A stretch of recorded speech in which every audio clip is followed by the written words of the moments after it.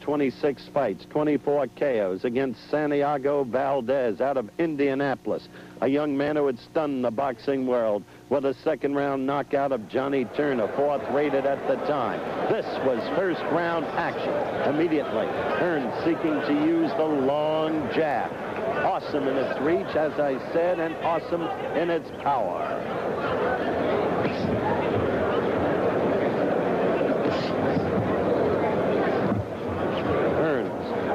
A polished boxer. Got the right in and another right. Got Valdez off balance, as you saw.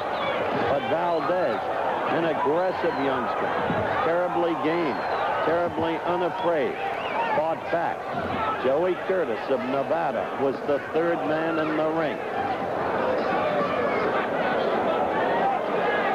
A wild swinger was young Valdez. As a result, he was susceptible to losing his balance.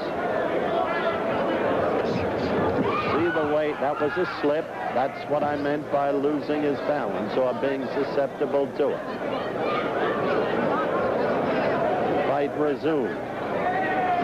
Hearns looking for a spot, looking to set Santiago Valdez up. With a wild right that missed. And another. That time had elapsed up till that point. Minute 20 left in the first round and counting down.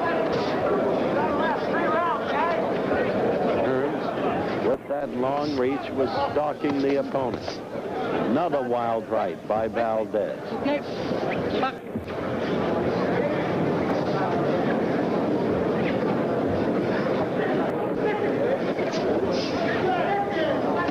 Hearns up till that point, while he had scored with two quick rights early and a good left, had not been able to put Valdez down. Oh, a good right by Valdez made Hearns mad at that point, as you could see. And quickly, Hearns attacked with both hands. And it was finally a right that put Valdez down for the first time in the fight. The Valdez right had gotten through and had stung Hearns and had made him angry. Then Hearns quickly returned to the wars, and you see him connecting with lefts and rights. Valdez, as gutsy a kid as you would have wanted to see, kept fighting.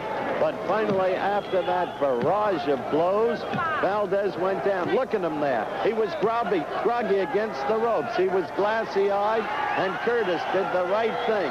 It was a first-round TKO for Thomas Hearns.